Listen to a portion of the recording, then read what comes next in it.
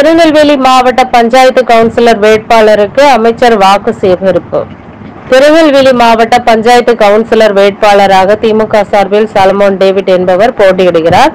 இவருக்கு வாக்குகள் கேட்டு தமிழக தகவல் தொழில்நுட்பத்துறை அமைச்சர் மனோ தங்கராஜ் தருவை ஊராட்சி ஒன்றிய பகுதியில் பொதுமக்கள் மத்தியில் வாக்குகள் சேகரித்தார். இந்த நிகழ்ச்சியில் பாளை ஒன்றிய செயலாளர்கள் தங்கபாண்டியன் போர்வெல் கணேசன் பரமசிவ ஐயப்பன் உட்பட திமுக நிர்வாகிகள் பலரும் கலந்து கொண்டனர்.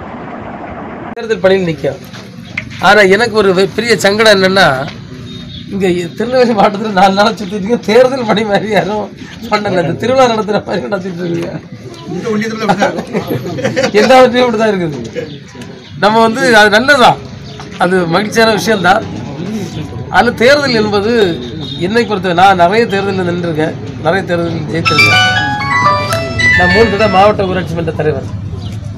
மாவட்ட ஊராட்சி தலைவர். ரெண்டு முறை சட்டமன்ற உறுப்பினர்.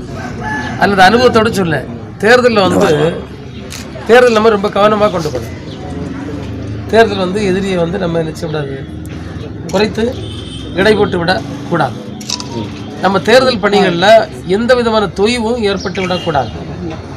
சாதாரணமாகவே ஒரு ஆளுங்கட்சி என்று வருகின்ற நேரத்தில் மக்கள் வந்து அதுக்கு சாதகமாக கொஞ்சம் ஓட்டு போடுவாங்க.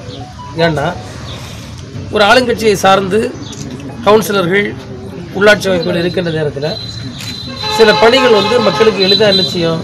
சென்றடையும். அது ஒரு முக்கியமான காரணம்.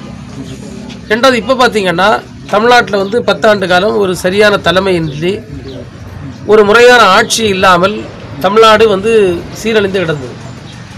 இவருடைய தலைவர் அவர்கள் கழகத்தின் தலைவர் இன்றைக்கு தமிழகத்தினுடைய முதல்வராக பொறுப்பேற்ற பிறகு பல நல்ல திட்டங்களை மக்களுக்கு அறிவித்திருக்கின்றார்கள். அப்படிதானே? நம்ம தாய்மார்கள்லாம் இலவசமாக பஸ்ஸில் ஏறி எங்கே வேணால் போக முடியுது.